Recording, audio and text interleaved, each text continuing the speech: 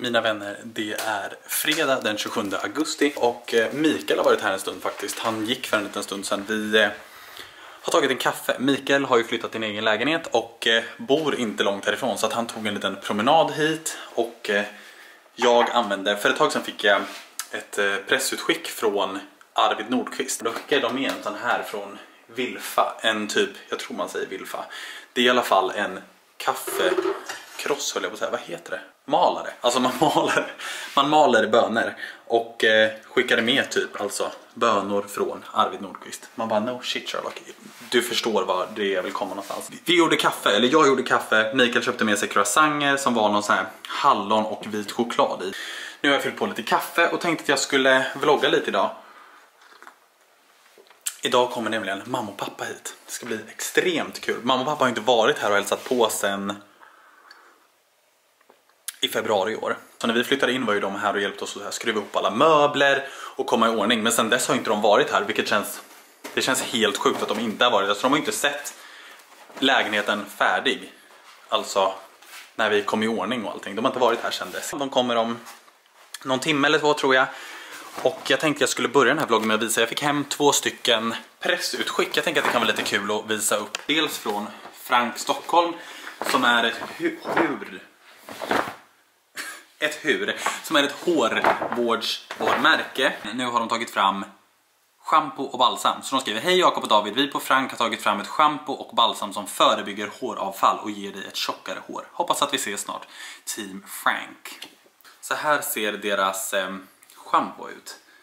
Så genomskinliga, fina förpackningar. Så shampoo och balsam i sådana pumpar. Perfekt att ha i duschen och väldigt snygga. Sjukt fin design. Så tack snälla Frank Stockholm för det här härliga budet. Och så har jag fått hem den här härliga påsen från Beauty Act som är en del av ett samarbete som kommer upp på min Instagram. Så den här påsen är liksom fylld av massa olika hudvårdsprodukter. Jag tycker att det här året har varit så, eller det här året, det senaste året har jag fått upp ett sånt stort intresse för hudvård. Det är allt ifrån sån här Hyaluronic plus IGF kollagen ampuller.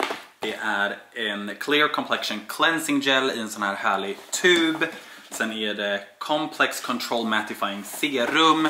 Sen har vi en styck 5% AHA, 5% PHA Glow Toner som ser ut så här och en Vita C Multi-Action Brightening Toner som ser ut så här. Så att det är och massa mer godsaker. Så det här är en del av ett samarbete som kommer på min Instagram och Beauty Act. Ni vet att jag har jobbat med dem tidigare, jag har jobbat med deras solskyddsfaktor-serie. Jag gillar Beauty Acts produkter. Så jag tänkte vi skulle köra en liten hemmablogg idag. Det är alltid mysigt. Det var länge sedan vi var hemma höll jag på att säga. Det var länge sedan jag filmade från att vi var hemma. Någon kanske följer mig och vill ha en liten plantuppdatering hur det går med mina plantor i mitt liv. Det går skit. Du som har följt mig ett tag vet att här hade vi två stycken jättefina blommor. De råkade jag ha ihjäl för jag hade lagt lekakulor i botten på de här. Men förmodligen vart för taggad och övervattnat dem så att de dog. Alltså de blev som skrumpna. Basilikan mår skit. Tillägga ska jag göra att kom ihåg, vi var ju alltså bortresta i 25 dagar hemifrån. Vi hade en sån här liten bevattningsanordning så mina växter som jag satte i fönstret där har dött, alltså de här chiliplantorna, de dog. Men vi hade en sån här växtanordning, ni vet man sätter en, eh, ett litet snöre från typ en hink med vatten eller en kruka med vatten eller vad nu har vatten i en skål och så lägger man snöre ner i och tänkte optimistiskt att de skulle överleva. Tomatplantorna, den där ska kastas, den har jag klippt ner helt för den har liksom signat ut totalt, den mår skit. Här finns det ändå lite hopp om den här blomman. Det finns två tomater. David fick jättehärliga blommor från sina vänner när han hade fyllt år. Så det är så jättefina, vet inte vad de här blommorna heter. Men så är det ju eukalyptusblad så de håller vi på och torkar. Men min enda hoppfulla planta, den ser inte så hoppfull ut. Men kolla, min chiliplanta. Här uppe har jag flera chilisar. Så det var liksom en liten life update på hur det har gått med mina blommor sen vi åkte hemifrån. De eh, hade ett, en kärleksfull husse ett tag som tog hand om dem vattnade, flyttade dem, ställde dem i solljus, tog bort dem från solljus, försökte vänja dem med att vara ute inne. Sen åkte vi på semester och det här året har ju varit minst sagt konstigt, eller den här sommaren har varit minst sagt konstig. Så att tanken från oss var inte att vi skulle åka och sen vara borta hela vår semesterperiod, men så blev det så eh, på grund av diverse omständigheter. Du som har sett mina tidigare videos vet ju om vad som har hänt så i min familj så att vi valde att liksom spendera så mycket tid som möjligt med min familj, med Davids familj, vi åkte till Gotland. Sen har det ju varit en väldigt liksom ska man säga, snurrig sommar i övrigt också. Alltså det är mycket som har hänt privata planet, det är mycket som händer i livet. Det är vissa delar som jag inte har kunnat berätta om men som jag nu typ kan berätta om och som jag tänker blir typ syftet med den här videon förutom att jag har saknat att prata med dig som tittar på mina videos och liksom saknat att göra videos. Så förutom allt tråkigt som har hänt liksom i livet de senaste månaderna och allt turbulent som har varit kring, kring det så har det har hänt saker som också är lite turbulent men som också är jätte, jättekul. Det är nämligen så att jag har beslutat mig att eh, säga upp mig och sluta på NYX Professional Makeup. Jag har ungefär en månad kvar att jobba innan jag eh, slutar. Jag kan inte riktigt än berätta vad det är jag ska göra istället eller vad som är mitt nya äventyr men det kommer jag att berätta så fort jag får, så fort jag får ett liksom okej och ett klartecken på att jag får berätta. Så kommer jag berätta vad det är jag ska ta vägen nu. Jag ska fortsätta jobba, jag ska inte bli hemmafru.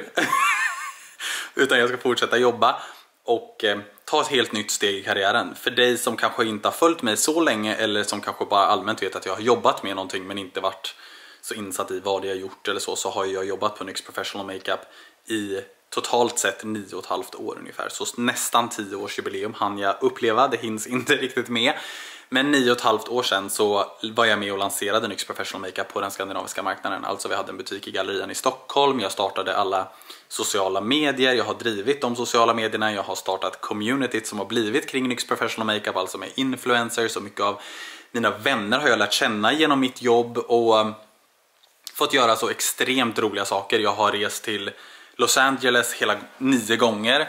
Jag har varit på Coachella tre gånger.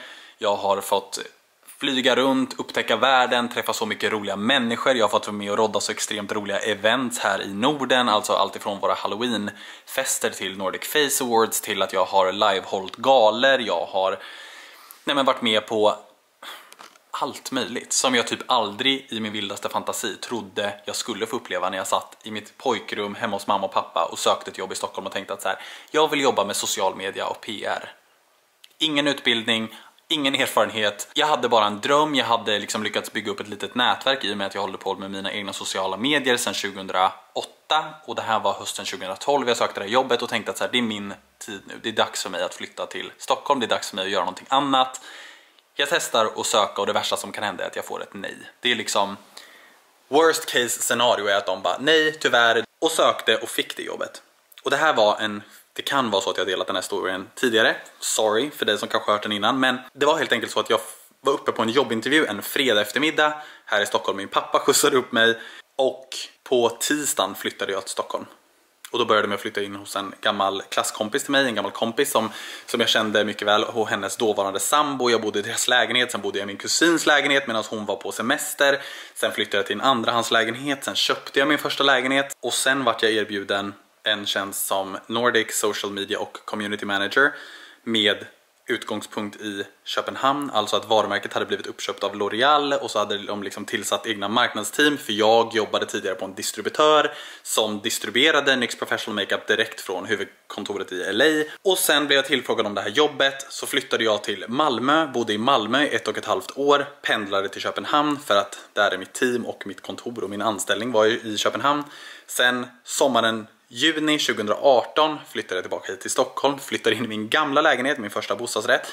Sålde den, flyttade till min förra lägenhet. Sen har jag liksom träffat David på vägen, vi har flyttat hit. Det har, varit, det har hänt så extremt mycket och det har liksom, under den här perioden har jag vuxit så extremt mycket som person. Men, men det känns typ, jag har en sån här liten sorglig känsla av att jag ska lämna NYX Professional Makeup som har blivit lite som min varumärkesbebis. Alltså jag har jag kommer ihåg när folk inte hade en aning om vad varumärket var för något. Aldrig hört talas om, aldrig testat produkterna.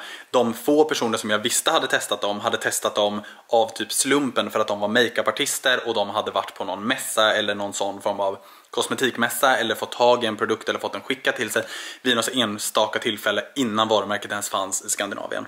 Och sen har jag varit med och lanserat butiker, haft events, gjort stora galer, flygit kors och tvärs över världen och gjort så mycket sjuka saker och jag är än idag helt outbildad och sen bara liksom jobbat mig till kunskapen eller liksom den, den resan jag har gjort internt på varumärket och jag, som jag har gjort som person framförallt och vem jag har blivit som i min yrkesprofession. Så att det känns helt sjukt att jag nu ska klippa navelsträngen lite med det här varumärket och göra någonting helt nytt som jag aldrig har gjort innan. Det känns superläskigt. Du som har hoppat på plugg eller har gått från plugg till att börja jobba eller fått ditt första jobb eller fått ditt drömjobb eller gjort men tagit ett steg som du typ har drömt om och vågat chansa och kanske vågat få ett nej, sen fick ett ja eller fick ett ja direkt eller har fått ett nej, fortsätter kämpa. Du kan nog verkligen känna igen dig i känslan av att det är så jävla läskigt att kasta sig ut i någonting som är nytt. Alltså någonting där du är så här.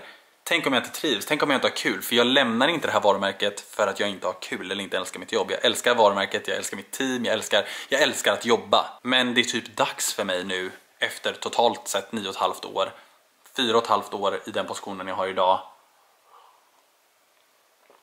att typ testa något annat.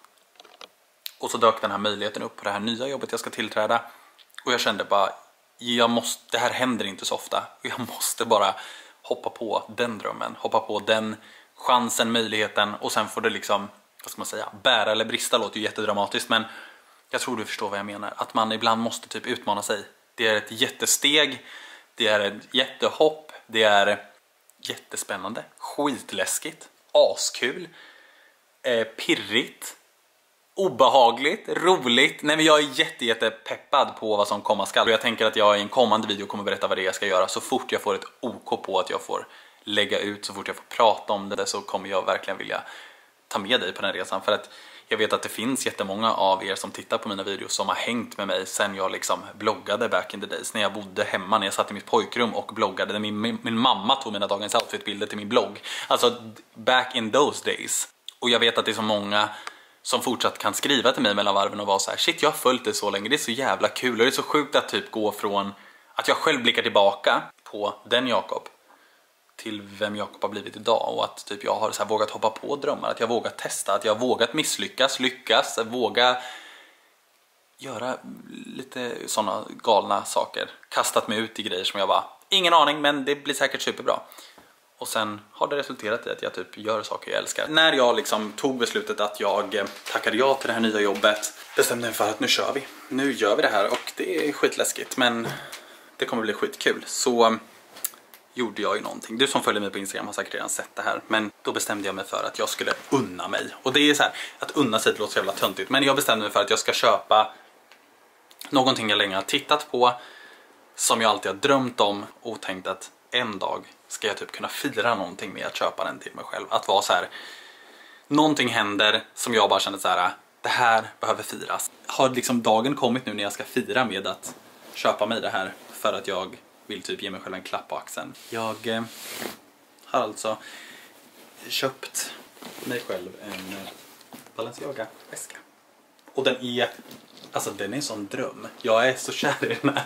Alltså material, eh, vad heter det? materiell kärlek i mm, Alltså varning, triggervarning för materiell kärlek och att det är helt sjukt att jag pratar så om en väska men alltså jag är kär i den här väskan. Den är så jävla fin.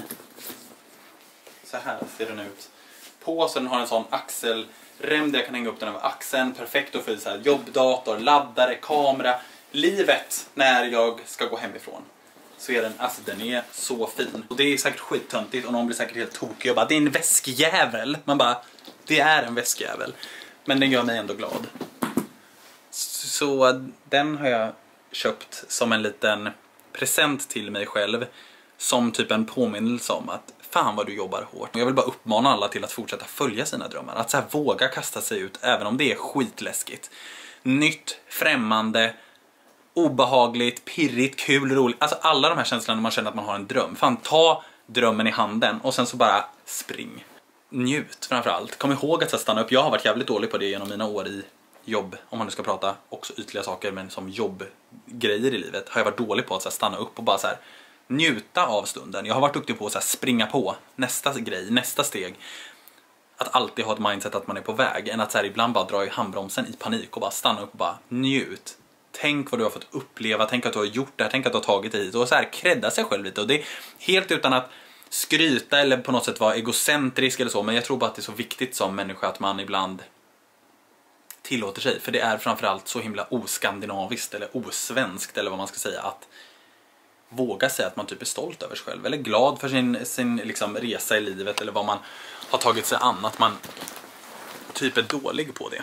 Jag är skitdålig på det, har varit det, alltid och bara typ springer på och tänker att jag får inte typ prata om att jag är stolt eller nöjd eller glad eller så. För att det upplevs det som att man typ skryter eller har, tycker för mycket om sig själv och det är inte ett problem jag har. Alltså det, nej, det ligger liksom inte i min, min natur att vara så.